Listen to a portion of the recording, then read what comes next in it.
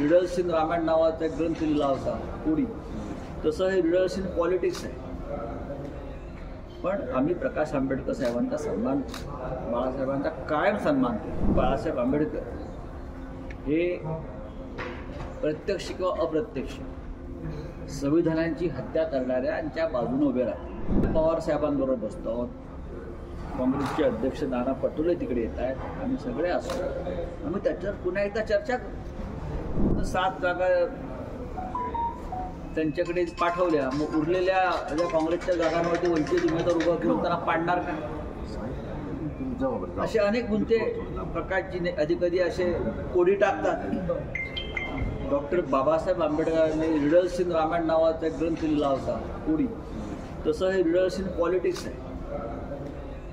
पण आम्ही प्रकाश आंबेडकर साहेबांचा सन्मान बाळासाहेबांचा कायम सन्मान केला.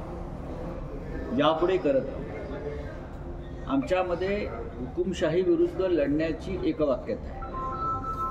संविधान रक्षणासाठी आम्ही एकत्र यायचं ठरवलं ज्या पद्धतीनं देशात संविधानाची रोज हत्या होते मला असं वाटत नाही की माननीय बाळासाहेब आंबेडकर हे प्रत्यक्ष किंवा अप्रत्यक्ष संविधानांची हत्या करणाऱ्यांच्या बाजूने उभे राहतील.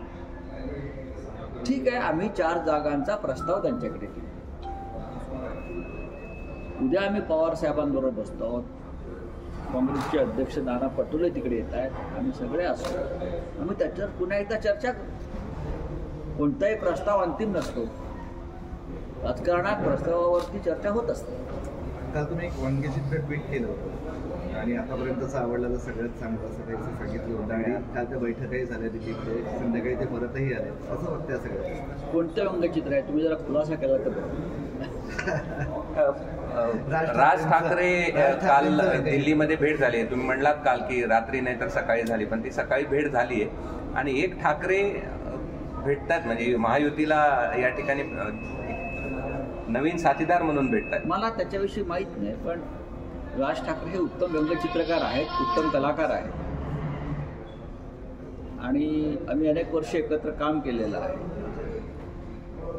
त्यांच्या मनातल्या संवेदना आणि खंत या इतर कोणापेक्षा मला जास्त माहीत असतात. या देशाचा स्वातंत्र्य आणि प्रजासत्ताक हे मोदी आणि शहांच्या हातून कसं फासावर लटकवलं जात आहे अशा प्रकारचं एक उत्तम व्यंगचित्र त्यांनी मधल्या काळात काढलं होतं आणि ते मला खूप आवडलं. मी यात राजकारण पाहत नाही. त्यांनी ज्या भावना व्यक्त केल्या होत्या त्या देशाच्या भावना त्या महाराष्ट्राच्या भावना.